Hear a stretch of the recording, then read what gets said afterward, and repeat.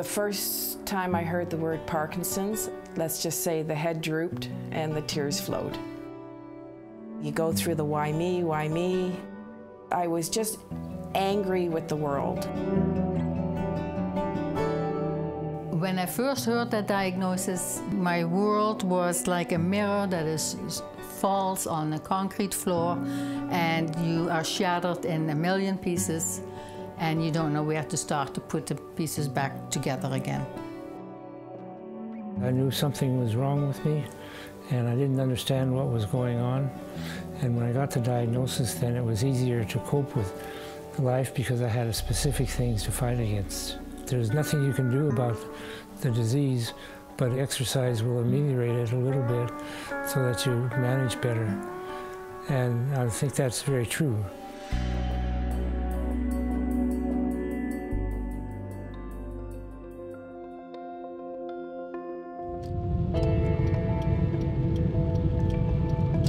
Parkinson's is probably one of the most misunderstood diseases out there. And one thing with Parkinson's is that it's a big umbrella, and they call it Parkinsonism. So it's a very individual disease. But because it attacks your muscles, you got to stay strong.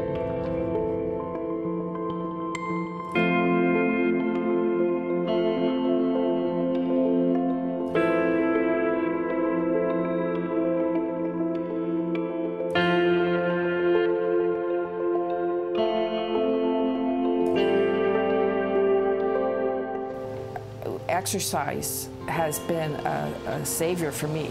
I fortunately I've always exercised, so I'm not somebody that had to start from ground zero.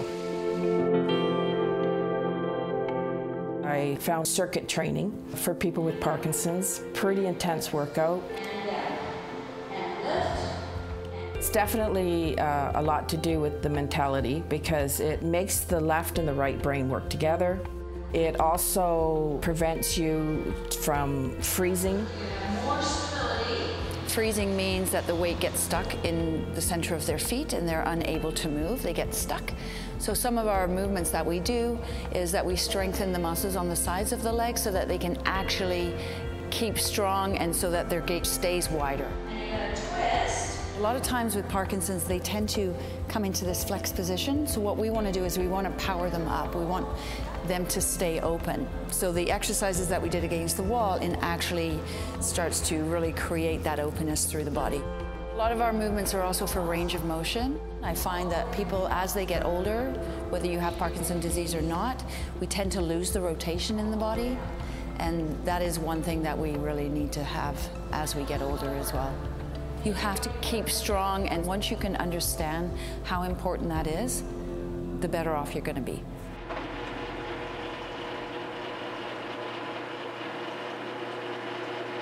The idea of Parkinson's disease is, uh, or what it is, is actually a very complex disease. there's a big difference in between people with Parkinson's and how they uh, present with the disease, with the symptoms.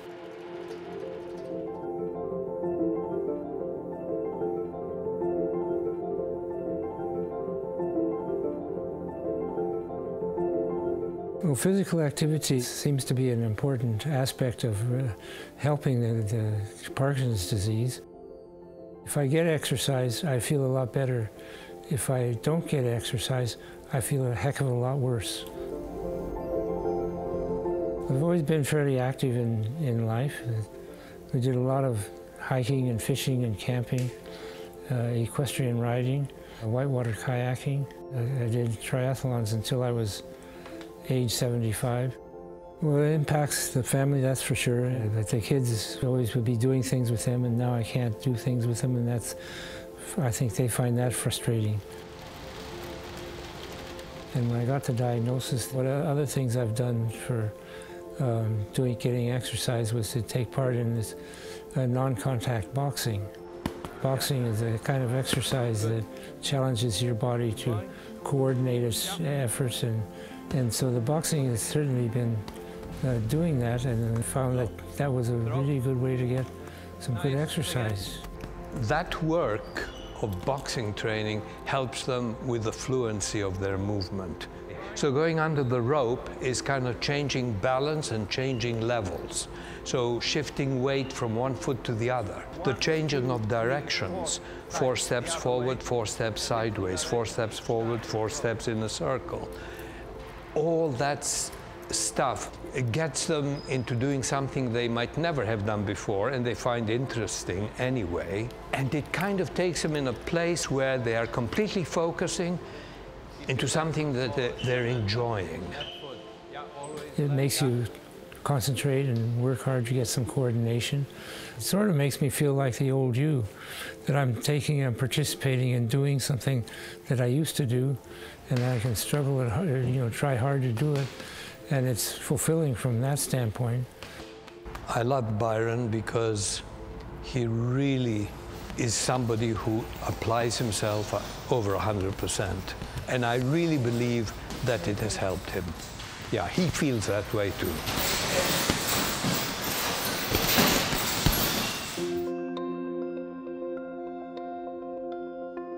Before I was diagnosed, I didn't feel right. It was like there was a fog in my brain sometimes. They did an MRI, they did all kinds of tests. And then when I ended up at the neurologist office, he did five tests and within five minutes, he could diagnose me. Some people have no tremors. Some people have a lot of tremors and have difficulty with eating.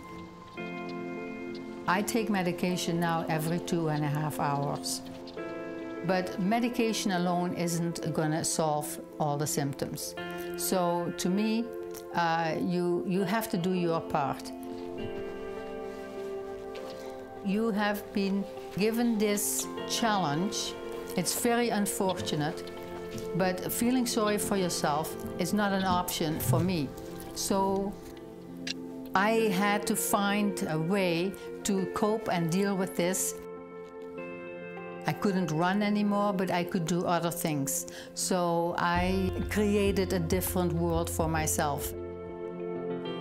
When I go to Rona's class, I may be very tired, but I always come out feeling better. There is a connection between physically activity and feeling better about yourself. Because you have the feeling of, hey, I've done, I've done it, I did that. I didn't know I could do that. And even after 13 years, I discover new things almost every day. Here we go. I've discovered boxing and I love it. And, and it's fun. It, it, that's what I didn't know. It's, it's actually fun to just give it a punch and uh, challenge yourself. I am aware that the more frequently I do my exercises, I will stay flexible. But it doesn't matter how much you exercise a day, you wake up the next morning and you are stiff all over again. But then the next morning you get up and you start again.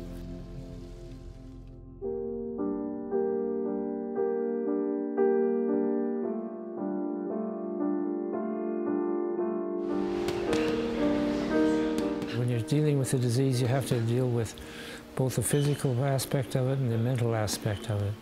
The, the mental part is probably one of the most important parts. After a while, it gets a bit tiresome, so you just get tired of putting up with it and putting up with the deficiencies that it creates in your life.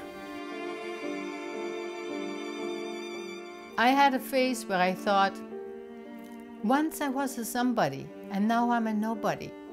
Well, that has gone out the window. That's not true. You may feel that way because you're living a more quieter life, but I love my life the way it is now. You have a choice to curl up or get out and fight it and be an advocate and be proactive and do what you got to do. So every day I do the battle cry in the mirror bring it on, bring it on, bring it on and I just mentally prepare myself every day. I don't think any exercises will stop the symptoms from creeping forward. Hopefully they're prolonging the progression of Parkinson's disease. These people amaze me. I'm gonna cry. If there's one thing I know about these people is they don't want the disease to progress. They will do whatever they need to do. And they are an amazing support group for one another. If somebody comes in with something going on, there's always somebody there to listen. When, when Parkinson came to visit me, with it came all these new faces of people, beautiful people, wonderful people, that I would have never met otherwise. One of the problems, too, is that you tend to crawl in a hole and, st and stay there, and you have to force yourself to get out and do things. The nice part about being in contact with other people is that uh, it helps you develop a little bit of confidence, but you can discuss things with them that you couldn't do with other people because you got the same problems. We're all in that boat and we're all warriors getting through the disease together, and it just makes us stronger. Parkinson's, when you're diagnosed with it, I, I make it very clear to the new ones that are it's not a death. It's not death. It's not a death wish. It's not any of that. It's it's just telling you now you got a fight on your hands. It's taught me that you, you strive, you still strive, but you strive differently to be the best person you can be. The advice I can give them is don't get discouraged and work hard at the exercise. It is a journey of discovery. It just depends on how you approach that journey.